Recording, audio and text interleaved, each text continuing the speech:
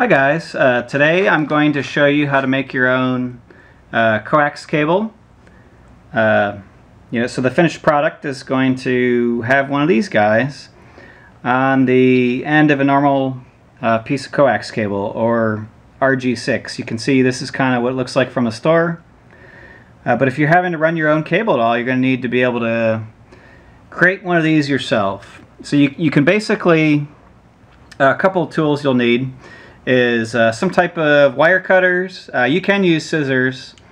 This is a needle nose pliers. Uh, you can see here, just kind of insert this uh, guy into the needle nose pliers, uh, push down, and uh, that that's just that simple to cut the coax cable.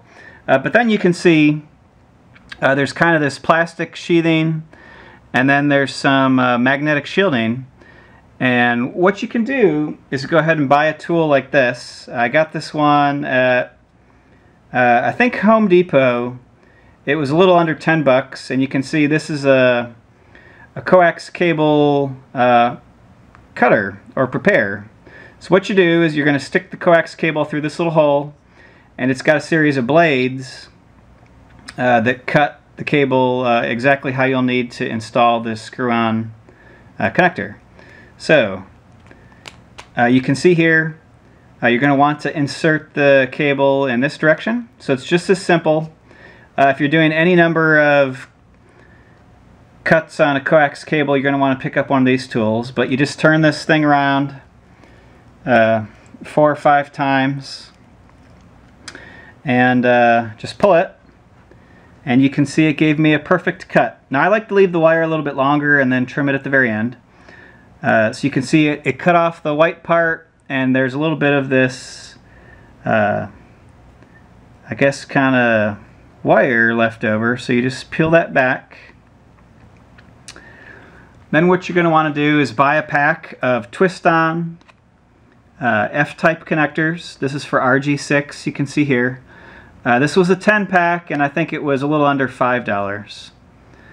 So all you literally do is take this little twist on here and you're gonna come on your coax cable wire and then literally uh, just like the name implies you're going to twist it on. So you can see I've done that here. Uh, then you come make sure it's centered nice and you're going to come and just cut this the coax cable wire uh, just a little bit past the end. Uh, and there you have it. It's just that simple with the right tool. So you're going to need to pick up one of these. Uh, you can do this yourself with a razor blade, but this is easier. It's uh, anywhere between 5 and 10 bucks at Lowe's or Home Depot. Uh, wire cutters or a pair of scissors are kind of optional. And then you're going to need these uh, twist-on connectors. Uh, you can buy a 10 pack for less than 5 bucks and you're good to go. You can make up as many coax cables as you want from now on uh, with the proper tools. If you found this video helpful, please like and subscribe for more money saving tips. Thank you.